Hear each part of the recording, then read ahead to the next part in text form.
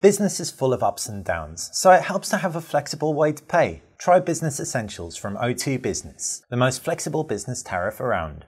Hey guys, Basil here with TechEdit and this is the Alcatel Idol 4S. The 4S has a pretty impressive spec sheet, Quad HD display, but uh, kind of invertible UI of sorts. You've also got front-firing speakers, and that's in spite of what will likely be a very, very competitive price, given the fact that's pretty much Alcatel's legacy. The design on this is really, really impressive though, just on in-hand feel. Um, it's, like I said, got really well hidden front-firing speakers, um, one above and one below that display.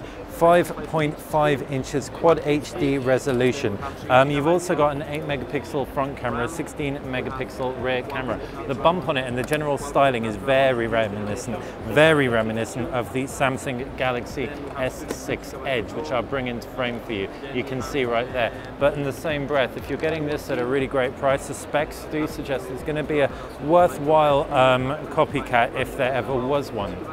Now, jumping out of the UI, uh, you can see it runs with Android. It's going to launch with Android Marshmallow, customized user interface to enable that flipping feature. You've also got an applications tray that you can swipe through. It's horizontally, sorry, vertically scrolling, so nice and stock.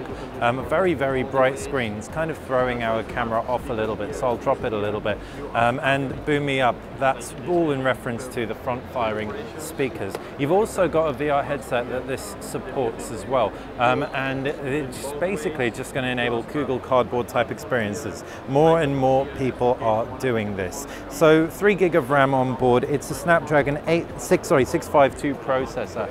Um, hopefully should perform well. Haven't used that chipset in the past, looking forward to getting it in. How does the camera UI fare? Opening it up, you can see it's a very, very similar UI to what Huawei has on theirs. You've got this shutter speed, ISO control, um, and indeed manual focus too. Brilliant. So instantly you'll be able to get the very best from that 16 megapixel rear snapper. I'm generally impressed by what I see and feel in hand. It is a big device though, so if you think it's a bit too big for you, want something a bit smaller, check out our video with the Idol 4, um, which is also announced MWC 2016. Any questions, fire them in the comment section below. Like the video, click like, like the channel, subscribe to TechEdit. It's how you're going to stay on top of everything we do. Thanks for watching.